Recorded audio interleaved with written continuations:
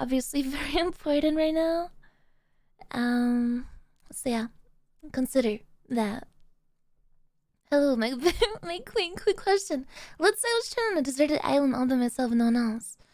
Being stranded, you first gather water. After getting water, in order to start a fire for the night, you deep, deep into the forest to gather some wood. You go on a date. Well, okay, dude. uh,